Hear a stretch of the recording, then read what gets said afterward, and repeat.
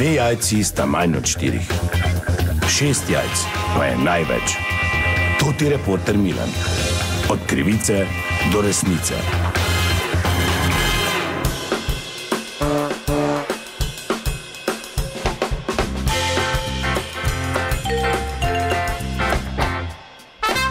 Dame in gospodje, to ti Milan, sem ponovno na sledi zgodbe. Ta trenutek sem na terenu in sicer v Marjeti na Dravskem polju, na pol poti med Mariborom in Ptujem, kjer bo jutri nogometni spektakel. Z dobrimi igrami si je še da Marjeta namreč priigrala priložnost, da se pomeri z ekipo Maribora. In zato sem tukaj, da vidim, kako kaj gredo priprave. Zdaj stojim ob cesti nad igriščem, rahlo pada dež, nekaj gneče ni. Aha, vidim pa dva domačina, prihajate, bom kar pristopil. Dober dan, to ti Milan, zdravo, lahko malo zmotim. Ja, povej, servus. Zdravo, ste v pričakovanju ne, jutrišnjega spektakla. Ja, no, zdaj si tu parkiral, jutri ne boš mogel, ne? Ker imamo mi prvi v zgodovini v Mareti obvoz. To ta cesta, tu vidiš, to ti, ko to je zaprto. Tu pri fitnessu not, pa zadnji okrog, pa tam vun. Nijete samo vi mosta zaprtega, jutri tu, tu Margečka riva, jutri zaprta. Ja, super, pričakujete veliko ljudi. Ne? To je rekord. Dobro, rekord, to pomeni, da celo Dravsko polje je tako, veš, kako to je rezervacije, ono sem pa tja. To bi rabili toto, da bi prodajali karte, da bi ljudi klikali, to je zdaj norišnica, totalna. Vi dva sta v organizacijskem Vsi odboru. smo tu organizacija, vsi.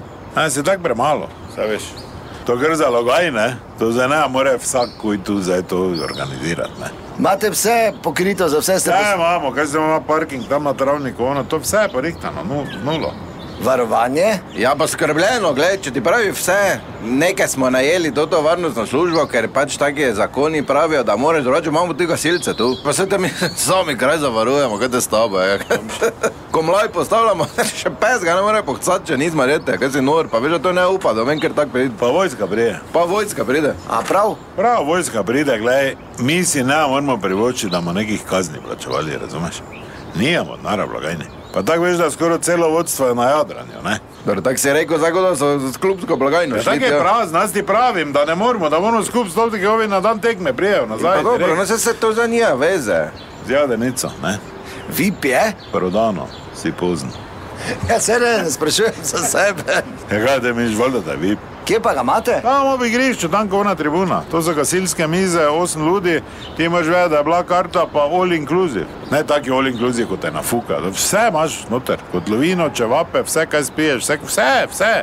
Pa če si malo gibčen, lahko božičo, ko bo šel tu po liniji, žogo beg vzameš. To je vip, da si not, ne? Ne zdaj, da ne vidiš, da igra, ne? Pijača pa to je. Pa kaj si plesal, če od predsednika žena, eh, vinska kraljica? Muke, norca, veš, imamo dva dni že kota, je to te sode sem, kaj si ne veš, kaj bo vino. Plus se zna zgoditi, da to ti kaj, je, tu imamo v Trničah, imamo vojaška pilota. Da bo s helikopterom prek leto, pa na Pa dobro, gled, to je skrivnost še Ja, eno. dobro, te pa tako da ti nisem rekel. Žogo me ne dol fukne na sredino, samo zdaj bomo videli, ne, vse veš, da mora vojska. Vse vojska bo tu, samo mora to general šlo vprašati, ne. Ne moreš ti kuj s helikopterom letati, ne veš. Ampak glej, vse veš, če da Marjeta pometa, ne, tu se more, pač mislim, se potrudijo ljudi, ne. Ja, lep slogan imate, ni kaj. Kaj pa tekmovalno, kak Glej, računamo? računamo tako, da če 6 minut zdržimo, pol bo tak tema, pol pa vse možno v temi, vse veš, vigi vagi, ne. Če pa vem, da imate reflektore. Luči imamo, ja, reflektore. Pri luči pa veš, kak je, ne. Ja, luč ni luč. Ja, dobro, hvala lepa, veliko sreče želim jutri, verjamem, da bo nepozabno. Se torej vidimo na pokalni tekmi jutri popovdne v Marjeti na Dravskem polju, še do Marjeta, enka Maribor. To je bila še ena zgodba, raziskoval sem jo Toti Milan od krivice do resnice.